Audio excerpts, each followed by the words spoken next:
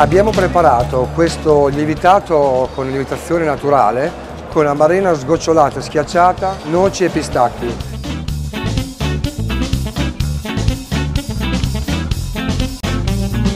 Adesso andiamo a creare un rettangolo con questa pasta.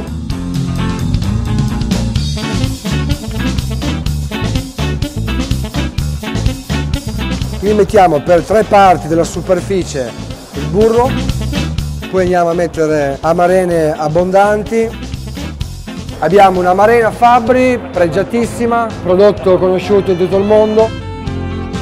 Arricchiamo bene perché ovviamente questo impasto triplica il volume. Andiamo a mettere della frutta secca, delle noci in questo caso. Gli diamo una piega a tre semplice.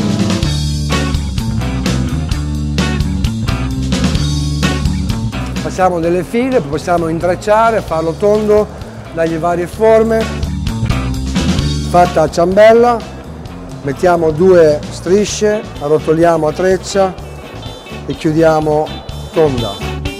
Adesso lievitiamo due ore, dopodiché si va in cottura a 170 gradi, circa mezz'ora.